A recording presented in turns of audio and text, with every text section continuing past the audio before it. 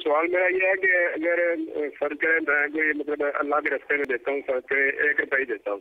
देते हुए मैं नियत करता हूँ कि मैं नबी वसल्लम, अहल बैत अब्दुल कादिर जिलानी और अपने वालदेन की तरफ़ से अल्लाह के रस्ते में दे रहा हूँ। क्या ये नियत करना दुरुस्त है? सदक़े की रकम अलग रख लेते हैं और फिर नबी करीम सलाम साहब कराम गौसे पाक रज़ी अल्लाह तु अहल बैत अतहार रज़ी अल्लाह तु के नीयत से उनके सारे स्वाब के लिए देते हैं क्या ये नीयतें ठीक हैं इनकी। नीयतें तो बिल्कुल ठीक हैं कि सदका जब एक जो है वो सवाब वाला अमल है तो जब नेक नीयत से किया जाएगा इस पर सवाब मिलेगा तो उसका सवाब जो है वो इन तमाम बुजुर्गान दीन की बारगाह में नज़र कर सकते हैं।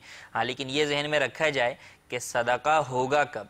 जी जी। जैसे घरेलू सदका बॉक्स हैं या दीगर जो बॉक्सेस हैं या घर में कोई वैसे ही रखता है तो फ़कत निकाल लेने से सदका नहीं होगा। हाँ जो नियत की है उस नियत पर उसे सवाब मिलेगा लेकिन सदक़े का जो सवाब मिलेगा वो उस वक्त जब कि वो मुस्तक तक पहुँच जाएगा या अपने मसरफ तक पहुँच जाएगा। मसलन मस्जिद के लिए कोई जमा कर रहा है तो जब मस्जिद में देगा तो उस वक्त होगा जब तक आपके डब्बे में है तो उस वक्त तक वो सदका अपने मकाम तक नहीं पहुँचा। तो लिहाजा कोशिश इस बात की की जाए कि जल्द अज जल्द जो है वो सदक़े को उसके मकाम तक जो है वो पहुँचा दिया जाए। जैसे महीने का लोगों का जहन होता है तो महीने के बजाय उसे जुमे जुमे पे रख लें कि हर जुमे के दिन जो है वो सदका कर दें और जुमे के दिन वैसे ही हर नेकी जो है वो सत्तर गुना बढ़ी आती है तो उस दिन देने का और ज़्यादा सवाब हासिल हो।